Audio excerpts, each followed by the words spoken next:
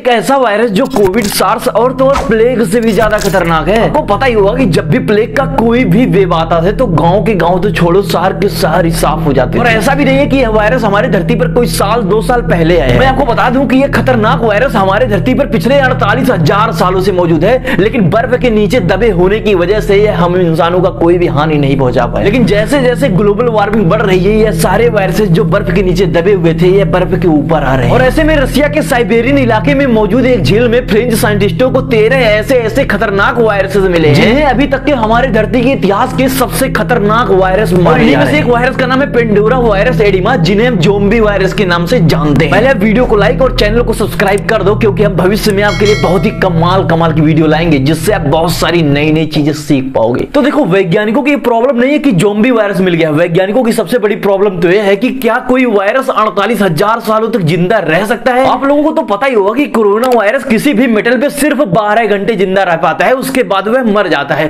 लेकिन यहाँ तो कोई वायरस अड़तालीस हज़ार सालों से ज़िंदा है और पता नहीं कितने सालों तक और ज़िंदा रहेगा। तो प्रॉब्लम ए है। तो भाई आप ही सोचो कि एक वायरस जो 12 घंटे के बाद स्वतः मर जाता है, वह इस दुनिया भर में इतनी बड़ी डिज़ीज़ फैला गया। तो सोचो, वह वायरस जो अड़तालीस हज़ार सालों से आज तक मरा ही नहीं है, वह हमारे धरती पर क्या क्या कर डालेगा? तो देखो, यह वायरस रशिया के साइबेरियन इलाके में यतुस्क नाम के इसी जगह पे मिला है। और मैं आपको जानने को बता दूँ कि यह यतुस्क नाम का जगह वायरस से बहुत ही ज़्यादा भरा हुआ इलाका है क्योंकि यहाँ पर जब भी वैज्ञानिक जाते हैं वह खाली हाथ कभी नहीं लौटते। क्योंकि आज से नौ साल पहले 2013 में भी एक फ्रेंच साइंटिस्टों का दल इसी जगह पे गया था और वहाँ पर भी उन्होंने तीस हज़ार साल पुराने एक वायरस को ढूंढ निकाला था। इस बार तो अड़तालीस हज़ार साल पुराने वायरस को ढूंढ निकाला है। तो यह जगह बहुत ही ज़्यादा वायरस से भरा हुआ जगह यह जो यात्सुक नाम का पूरा एरिया है यहाँ पर अधिकतर परमाफ्रोस्ट पाए जाते हैं। मैं आपको बता दूँ कि परमाफ्रोस्ट टाइप ऑफ़ एक ग्लेशियर ही है लेकिन इसकी एज और डेंसिटी नॉर्मल ग्लेशियर्स की अपेक्षा बहुत ही ज़्यादा होती है और इसी वजह से ये जल्दी जल्दी पिघलती नहीं है। और परमाफ्रोस्ट की एज बहुत ज़्यादा होने की वजह से इनमें बहुत सारे लेयर्स हर वक्त चढ़ते रहते हैं। और इन्हीं परमाफ्रोस्ट के लेयर्स के बीच बहुत सारे जीव जंतुओं के कंकाल वायरस सब कुछ दबे के दबे रह जाते हैं। और जब ये बर्फ़ दोबारा से पिघलते हैं तो दुनिया के सामने आते हैं। और कुछ ऐसे ही आज से साढ़े अड़तालीस हज़ार साल पहले इन्हीं परमाफ्रोस्टों के बीच हमारा जोम्बी वायरस दब गया था। अगर आप किसी भी कॉम्पिटेटिव एग्ज़ाम की तैयारी कर रहे हो तो उस एग्ज़ाम में कभी भी पूछा जा सकता है कि व्हाट इज़ परमाफ्रोस्ट